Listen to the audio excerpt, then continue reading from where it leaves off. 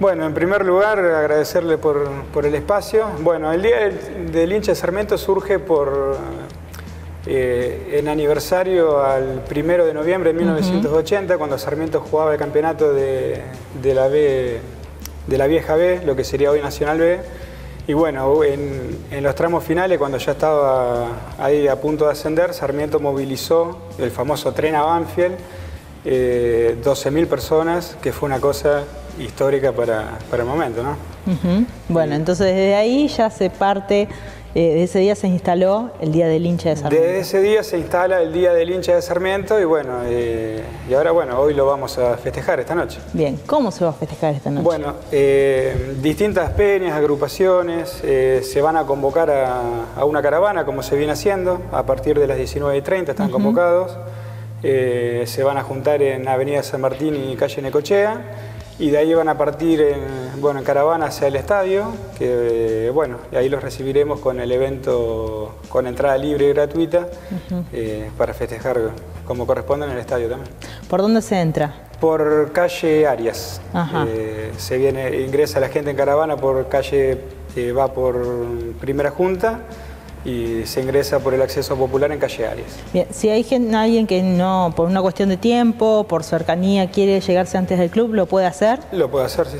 Bien, bien, perfecto. Bueno, entonces, ¿y ahí van a estar todas hasta las cero horas o cómo tienen programado? Bueno, ahí, va a haber una serie de eventos, eh, va a haber show musical eh, con la banda Hagan Lío, eh, va a haber homenajes, va a haber eh, algunas entrevistas, juego para niños, eh, así que bueno, es un evento en el cual convocamos a todas las familias sarmientistas. Bien, bueno, hoy un día netamente para festejar, más allá de lo que hablábamos fuera del micrófono, el tema de los resultados, que a lo mejor el hincha de Sarmiento está esperando que se dé de otra manera, pero siempre hay motivo para festejar.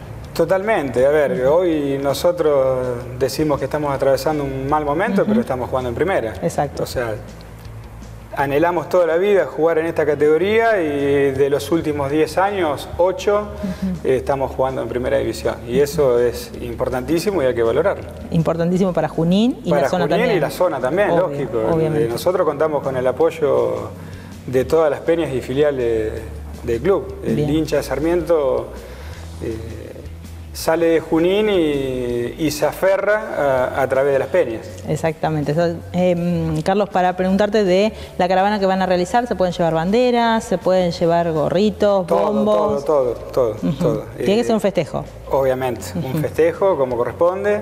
Eh, bueno, como te dije, 19, 30 horas se convocan. Eh, las distintas agrupaciones y de ahí en caravana hacia el estadio y bueno, los recibiremos para, para festejar. Bien, bien, bueno.